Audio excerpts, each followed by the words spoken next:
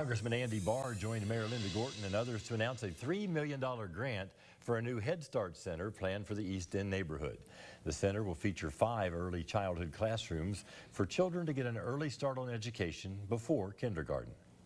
They're going to come over here thanks to the good folks at Community Action uh, in cooperation with the Lexington Housing Authority and the school system. They're going to come over here at two, three years old, give parents an opportunity to go to work knowing that their children are in a safe environment, and then they're going to be prepared. The center will be named for late pharmacist Dr. Zirl Palmer. The completion date is still being determined.